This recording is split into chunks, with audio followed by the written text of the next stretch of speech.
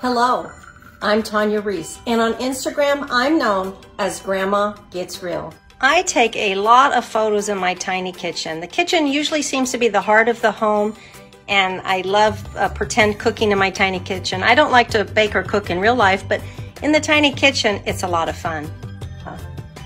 I like my dioramas to look as realistic as possible. So I like to add bubbles to the dishes in the sink. I try to make the baking look realistic. So you gotta have flour everywhere when you're baking, right? Got my eggs. Got the flour container and milk.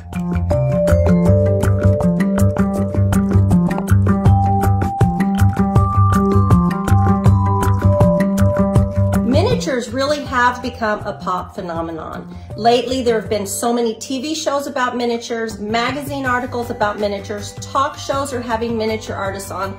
It's been so fun to see all of the interest in miniatures. I've been on talk shows, I've been on a lot of news programs, uh, I've been in magazines, all because people are so interested in the miniature world that I'm creating.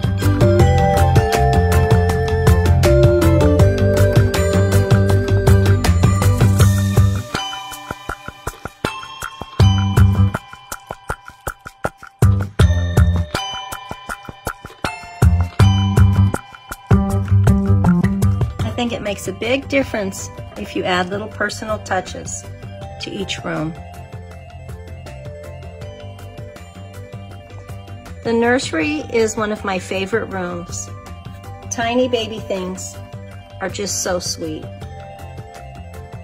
I started my Instagram account four and a half years ago as a fun project with my grandkids. They found some old Barbies in the attic and we decided to photograph them and post it on Instagram.